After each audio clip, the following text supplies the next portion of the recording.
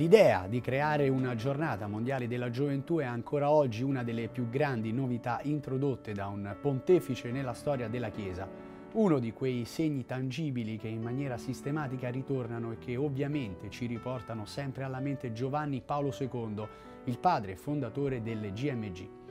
Cinque anni dopo la sua elezione a pontefice nel 1983, Karol Wojtyła organizzò un giubileo straordinario sul tema della redenzione nel 1950 anniversario della data convenzionale della morte e resurrezione di Cristo. In questo anno santo, tra i vari appuntamenti, ci fu spazio anche per il Giubileo dei Giovani, che culminò il 15 aprile 1984, Domenica delle Palme, con 300.000 giovani che andarono a gremire Piazza San Pietro, una cifra assolutamente insolita per l'epoca. Il Santo Padre approfittò quindi dell'anno internazionale della gioventù indetto dall'ONU per il 1985 e diede appuntamento ai ragazzi a Roma per l'anno successivo. Quell'occasione, datata 31 marzo, sancì di fatto la nascita delle giornate mondiali della gioventù. Venne stabilito così di organizzare questi eventi ogni due anni in una città del mondo scelta dal Papa le prime furono Buenos Aires nel 1987 e Santiago de Compostela nel 1989. Con il passare degli anni le GMG acquisirono un'importanza sempre maggiore. Quella del 1995 a Manila si svolse davanti a oltre 4 milioni di persone, avvenimento ancora oggi considerato come il più grande raduno umano della storia. Il 2000 segnò un altro storico momento per le giornate mondiali della gioventù. Il giubileo che segnava il passaggio di millennio fu teatro della GMG di Roma.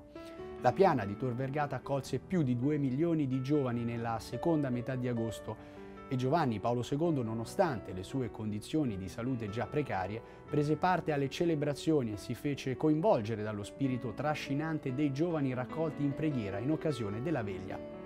Cari giovani, del secolo che inizia, dicendo sì a Cristo.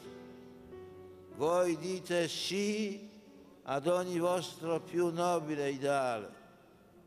Io prego perché Egli regni nei vostri cuori e nell'umanità del nuovo secolo e del nuovo millennio. Non abbiate paura di affidarvi a Lui Egli vi guiderà, vi darà la forza di seguirlo ogni giorno e in ogni situazione. Toronto, Colonia, Sydney, Madrid, Rio e Cracovia sono state le tappe della GMG in questo nuovo millennio. Continenti diversi e città differenti ma legate sempre da un solo principio, radunare giovani con lo scopo della preghiera, grandi incontri per sviluppare fratellanza e condividere storie di fede.